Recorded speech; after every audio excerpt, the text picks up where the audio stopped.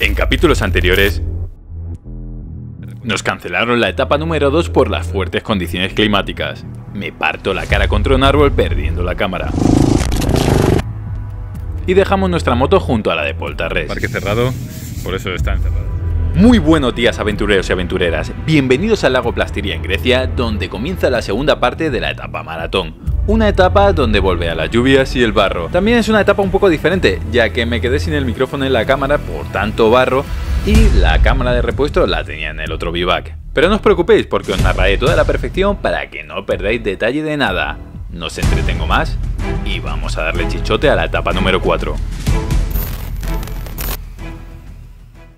Comenzamos el día despertándonos antes de las 6 de la mañana, dirección al parque cerrado, llevados por la dueña del hotel donde nos alojábamos, quien fue muy amable por acercarnos. Una vez en el parque cerrado, ultimamos los preparativos y nos dispusimos a tomar la salida.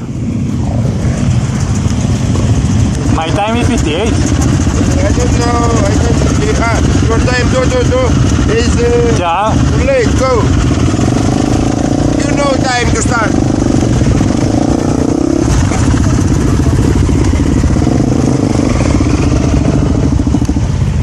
58.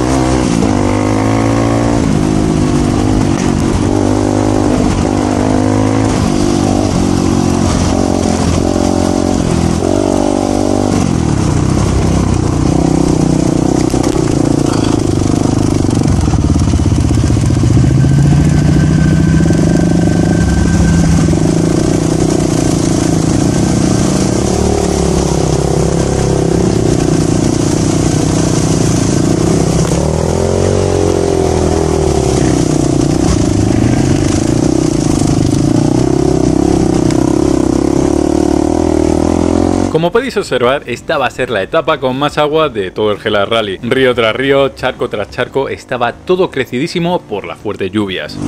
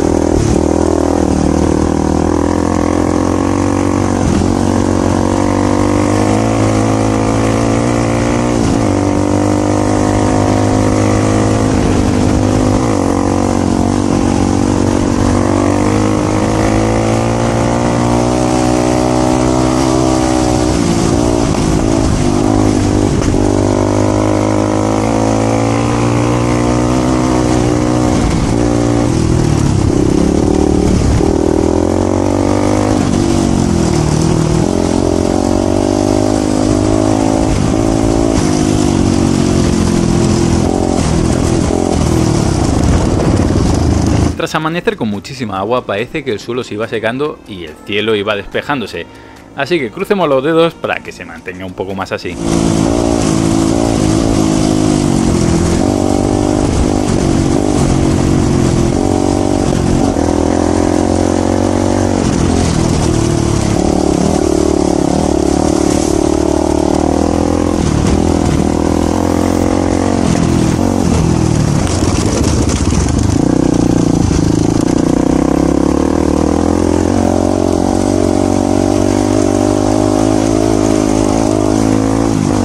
Aunque la cámara engañe, las subidas de esta etapa eran muy muy empinadas y complicadas, y debido al pequeño motor de la Vogue 300 me costaba un poquito subirlas, pero no había ningún problema porque tenía una tracción brutal.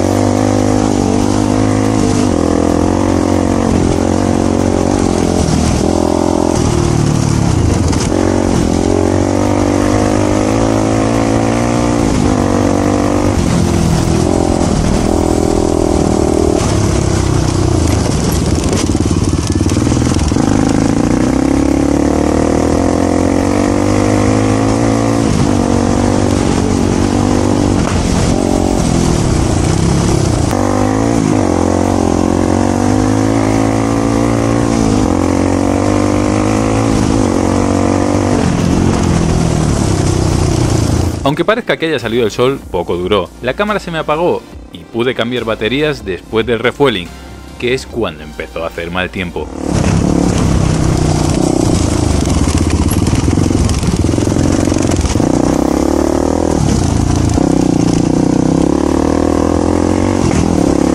Y tras 5 horas de etapa, la moto dejó de funcionar correctamente. Algo le pasaba, pensaba que era el agua, esperé a que se secara, pero tardaba más de lo normal. Entonces empujaba y volvía a arrancar y así podía aguantar unos cuantos kilómetros, pero se volvía a apagar.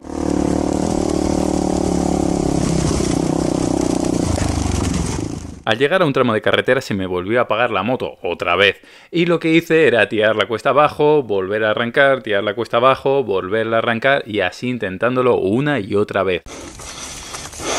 Pues nada, estamos aquí en mitad de la especial, Hemos cruzado un río enorme después de refueling, se ha cubierto toda la moto de lo profundo que era.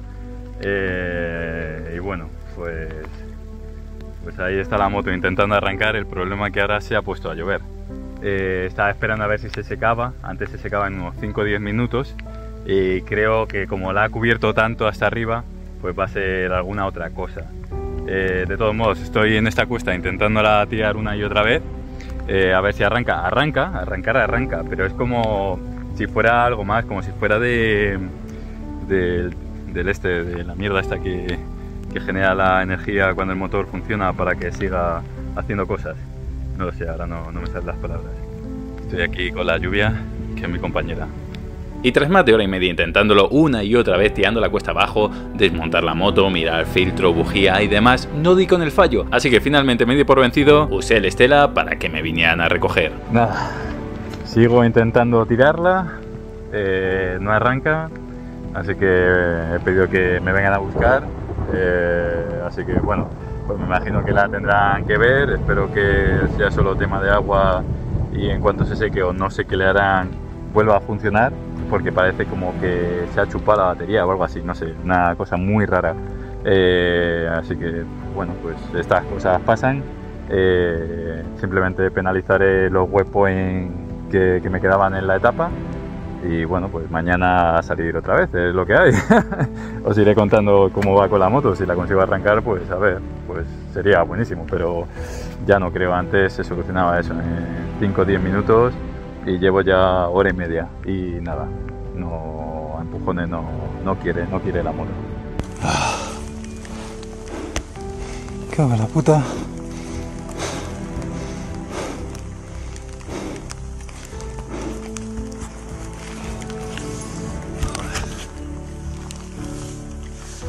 Cuando estás parado en un lugar así, te das cuenta de lo bonitas que son las vistas.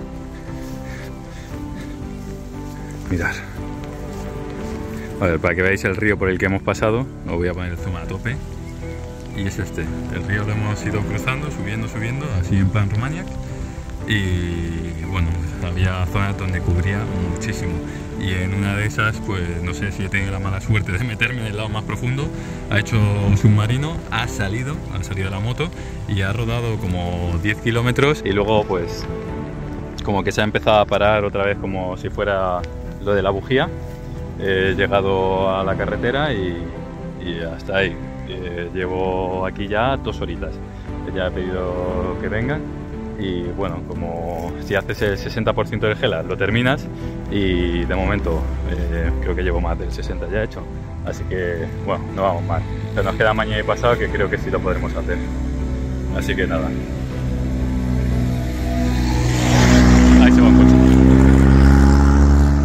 Tras esperar una hora más, llegó el equipo de asistencia en una pickup para recoger mi moto. Estaba casi seguro de que era algo del alternador, ya que al quedarse sin batería, las motos de inyección no funcionan correctamente. Revisé cuanto pude, pero al fin y al cabo no soy mecánico. No penséis que la moto se rompió por ser delicada, ya que más de 70 motos se quedaron por el camino y nuestra Vogue seguía viva, pero había algo que no la dejaba latir del todo. En estos momentos solo pienso en las diferentes opciones que tengo para terminar el rally y cuál es la mejor solución o si pasé algo por alto, ya que en mi cabeza solo existía una cosa, terminar lo que empecé, aunque fuera a rastras. De nuevo en el vivac de Carpenisi y con parte de la etapa cancelada por el clima, hizo que perdiera menos tiempo y aumentaran mis ánimos, pero aún quedaba la incógnita de si mi moto se podía reparar.